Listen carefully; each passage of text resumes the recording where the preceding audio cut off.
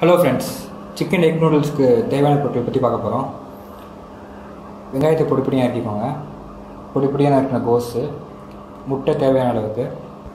பொடி இருக்கிற கேப்சிகம் குடமிளகாய் பொடி இருக்கிற கேரட்டு தேவையான அளவுக்கு உப்பு கரம் மசாலா பெப்பர் அப்புறம் இஞ்சி பூண்டு பேஸ்ட்டு அதுக்கப்புறம் சோயா சாஸ் சிக்கன் எக் நூடுல்ஸ்க்கு முக்கியமான பொருள் பார்த்தீங்கன்னா இந்த மாதிரி பொடி பொடியாக நறுக்கி ஃப்ரை பண்ண சிக்கன் ஸோ இது எப்படி பண்ணுறதுன்னா இனிஷியலாக வந்து சிக்கனை வந்து சின்ன சின்ன பீஸாக வெட்டிக்கோங்க. வெட்டினதுக்கப்புறம் மேரினேட் பண்ணணும். ஸோ மேரினேட் பண்ணுறதுக்கு வந்து ஒரு மிக்சர் ஒரு கலவையை வந்து உருவாக்கணும். அதுக்கு என்னென்ன பண்ணுறீங்கன்னா உப்பு லெமன் ஜூஸ் அதுக்கப்புறம் இஞ்சி பூண்டு பேஸ்ட் ஸோ இது மூணையும் வந்து மிக்ஸ் பண்ணி சின்ன சின்ன பீஸாக இருக்கிற சிக்கனை நல்லா கலக்கி கொஞ்ச நேரம் அப்படியே மேரினேட் பண்ணி வைங்க. மேரினேட் பண்ணதும் இதோட மிக்சர்லாம் நல்லா உள்ளே போயிடும் உங்களுக்கு. இந்த லெமன் ஜூஸ் இந்த இந்த லெமன் ஜூஸோட இது இஞ்சி பூண்டு பேஸ்ட்டு இதெல்லாம் வந்து உங்களுக்கு உள்ளே போயிடும் இதுக்கப்புறம் வந்து கார்ன்ஃப்ளவரும் சில்லி பவுடர் மிளகா பொடியும் சேர்த்து நீங்கள் கலக்கிட்டு எண்ணெயில் போட்டு பொரிச்சு எடுத்துட்டு சின்ன சின்ன பீஸாக வெட்டிக்கோங்க. ஹலோ ஃப்ரெண்ட்ஸ் இனிஷியலாக நம்ம என்ன பண்ண போகிறோம்னா இந்த ஹாக்கர் நூடுல்ஸை வந்து நம்ம பாயில் பண்ண போகிறோம் ஸோ பாயில் பண்ணுறதுக்கு வந்து நம்ம குண்டாவில் வந்து தண்ணி எடுத்துக்கிறோம். அதில் வந்து இந்த ஹாக்கா நூடுல்ஸ் வந்து டோட்டலாக வந்து நனைகிற மாதிரியே பார்த்துக்கோங்க. ஸோ தண்ணி வந்து இவ்வளோ தான் அளவு தான் ஊற்றணுன்ட்டுலாம் கிடையாது. ஃபுல்லாக அதை வந்து செம்மச்சானோம் ஸோ நான் இவ்வளோ எடுத்துக்கிறேன் ஹாக்கா நூடுல்ஸ் ஸோ மிஷில் ப ஸ்டவ் பற்ற வச்சுக்கலாம்.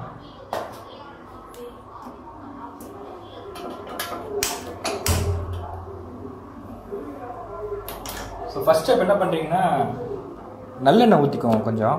ஏன்னா அப்போ தான் வந்து உங்களுக்கு ஒட்டாமல் வரும். நூடுல்ஸ் வந்து ஒன்றுக்கு ஒன்று ஒட்டிக்காது. ஸோ வந்து ஒரு ரெண்டு மூணு டீஸ்பூன்ஸ் நல்லா நல்லெண்ணெய் ஊற்றிக்கோங்க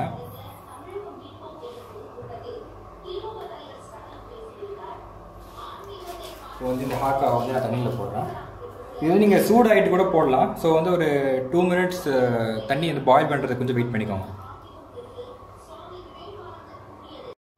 தண்ணி நல்லா இப்போ சூடாகிடுச்சு இந்தமாரி கொஞ்சம் சூடானதுக்கப்புறம் நீங்கள் நூடுல்ஸ் உள்ள போடுங்க.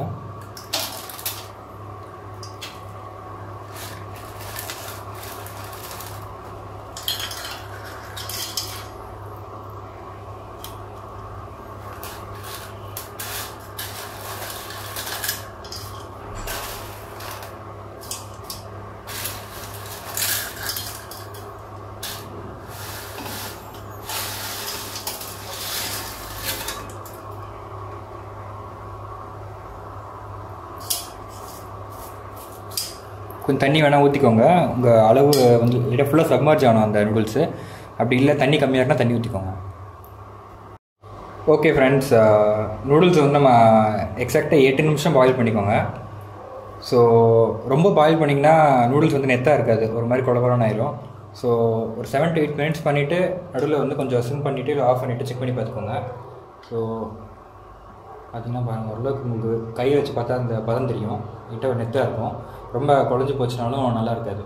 ஸோ இந்த பதம் வரும்போது நீங்கள் நூடுல்ஸை வந்து எடுத்துகிட்டு ஒரு பிளேட்டில் போட்டு ஃபேனுக்கு கீழே வச்சுருங்க.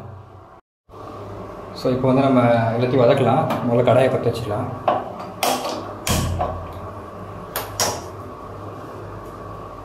ஸோ நீங்கள் சிக்கனை ஃப்ரை பண்ணும்போது இருக்கிற எண்ணெயை நீங்கள் யூஸ் பண்ணிக்கலாம். அது வேஸ்ட்டாக போகும். அதனால் அந்த எண்ணெயை நீங்கள் யூஸ் பண்ணிக்கலாம் வதக்கிறதுக்கு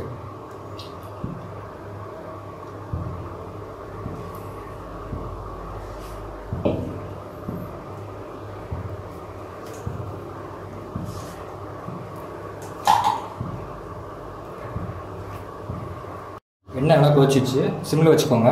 வச்சுட்டு வெங்காயம் போடுங்க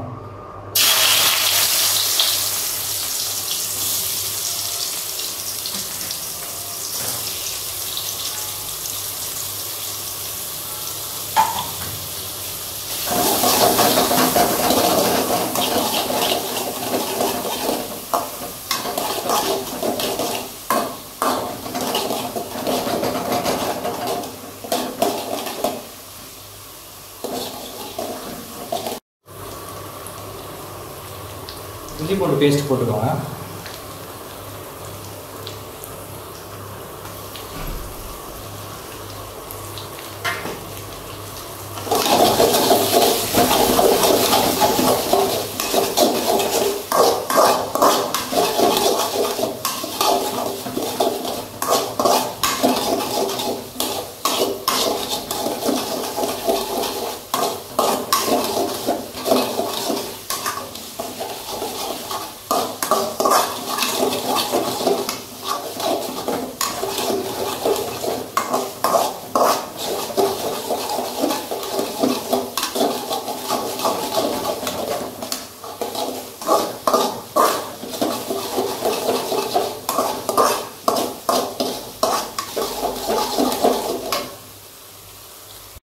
கேரட்டும் கேப்சிகம் போட்டுக்கோங்க.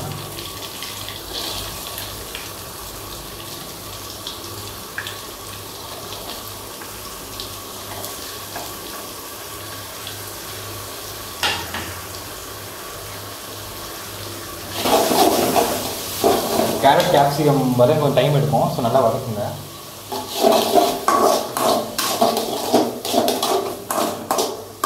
ஸோ உங்களுக்கு சீக்கிரமாக வதங்கிறதுக்கு லைட்டாக உப்பு கூட போட்டுக்கலாம்.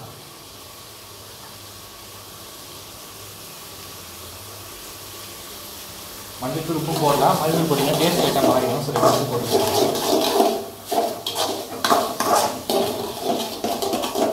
சோயா சாஸ் ஊற்றிக்கோங்க சோயா சாஸ் வந்து லைட்டாகவே ஊற்றுங்க ரொம்ப ஊற்றினா டேஸ்ட் மாறிடும்.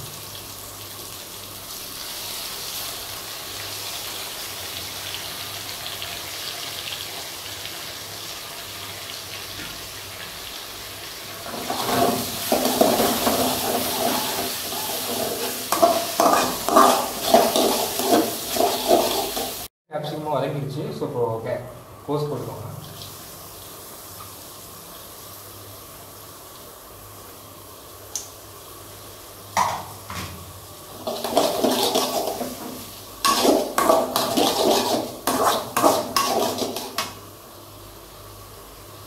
உடச்சி ஊற்ற போகிறோம் அதுக்கு வந்து கீழே வந்து எண்ணெய் கொஞ்சம் பசியாக இருக்கிற மாதிரி பார்த்துக்கோங்க இந்த மாதிரி. இல்லைன்னா வந்து முட்டை கொஞ்சம் காஞ்சி இதாயிடும் ஸோ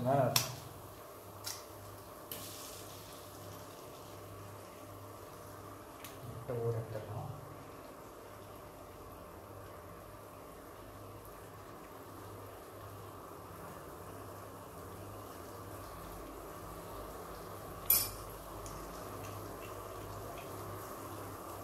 அதுக்கு மேலே மசாலாலாம் போட்டுருங்க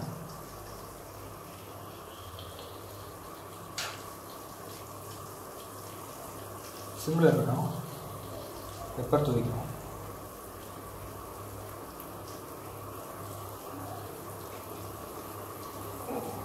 கரம் மசாலா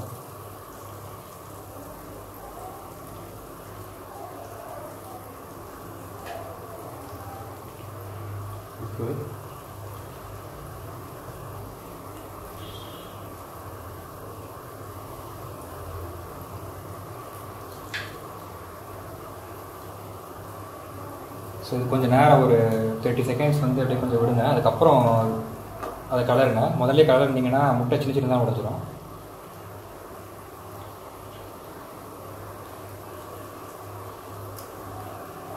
அப்படியே உடையாமல் கொஞ்சம் கொஞ்சம் சின்னதாக உடையிற மாதிரி கடை இருக்கும்.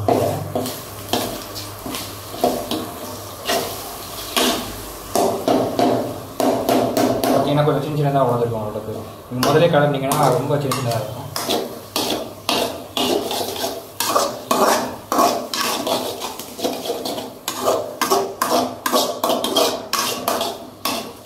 உங்களுக்கு அந்த மசாலா ஸ்மெல்லு முட்டை ஸ்மெல்லு கலந்து ஒரு சூப்பராக ஸ்மெல் வரும்.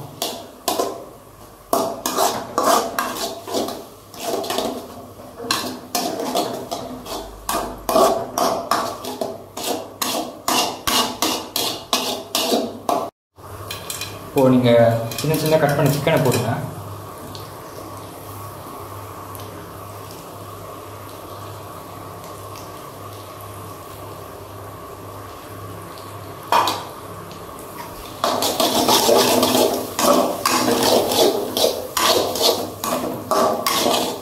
என்ன எண்ணெய் கம்மியாச்சு? எண்ணெய் ஊற்றிக்கணும்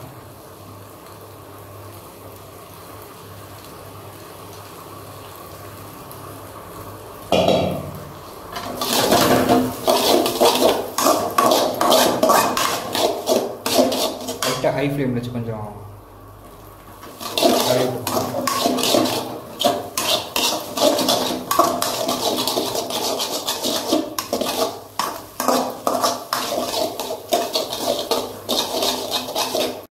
இப்போ நல்லா கலந்தாச்சு. கடைசி ஸ்டெப் என்னென்னா நம்ம இந்த மாதிரி காய வச்ச அந்த நூடுல்ஸு ஹாக்கா நூடுல்ஸ் நல்லா உதிரி உதிரியாக எவ்வளோ பார்த்துக்கோங்க. ஸோ இதை வந்து அப்படியே நீங்கள் போடுங்க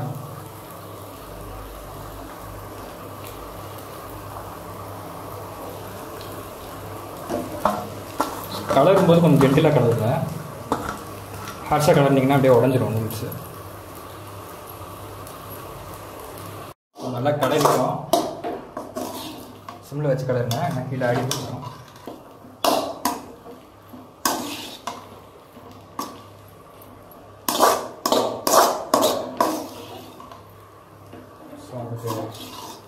நூடுல்ஸ் ஆல்மோஸ்ட் ரெடி ஆகிடுச்சு கலரும் போது ஓரமாக கலருங்க. நடுவில் கலர்னா உடஞ்சிடும்